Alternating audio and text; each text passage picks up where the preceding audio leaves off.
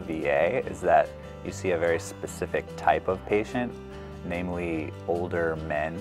Um, and one of the things that surprised me was just the wide variety of patients that we saw. Certainly there were a lot of older men, but also younger veterans, from, particularly from the uh, wars in Iraq and Afghanistan.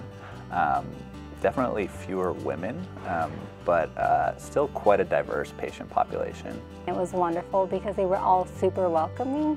Um, I've never had them, and any of them turn me away. They were always willing to you know, take a little longer with my exam or take a little longer with the history, never got frustrated. The VA was great for getting sort of a pretty in-depth and varied uh, experience in all the specialties that I, that I rotated in. With my patients, it ended up being that I had a lot of diagnostic challenges, which was, you know, super interesting. Patients with post-traumatic stress disorder have many other medical issues that result from this illness. So for example, substance abuse is very common among these patients. Being at the VA, you kind of get a sense for how pervasive it is in, in their lives.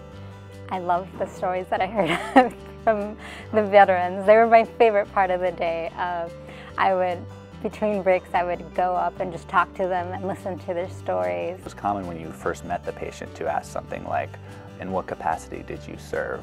Uh, and that kind of usually blossomed into a, converse, a, longer conversation that they were very interested in having most of the time.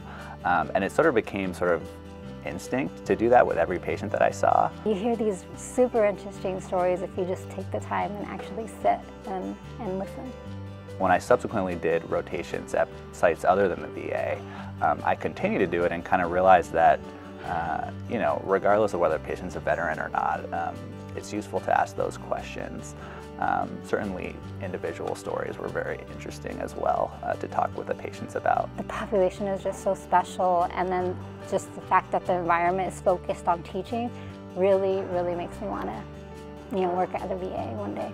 When I look back at my experience there, I got great exposure to a really wide variety of um, clinical issues and that uh, I wasn't limited by any sort of like narrow clinical spectrum of disease while I was there. The patients had a really good um, sort of sense of humor about students being kind of new to it and, and I thought that, that um, their ability to make me feel comfortable really helped me to learn while I was there.